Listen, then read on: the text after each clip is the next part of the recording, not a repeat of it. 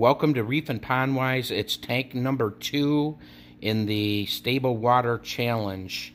I'm going to be doing my water changes here momentarily. The alkalinity on this tank is 9.1, calcium is 430, magnesium is 1380, pH 8.0, nitrate 7.0, phosphate 0.07, and temperature is 78.1. Guys, if you're not checking your water parameters before you do your water changes, and then again after you're doing your water changes, you might be missing out on a couple of things that will tell you what your true tank stability should be and is. Another pro tip is if you test your water that you're actually adding to the tank and it's in sync with your testing before your water change, you should be good to go. Thanks for watching and happy Mother's Day, everybody.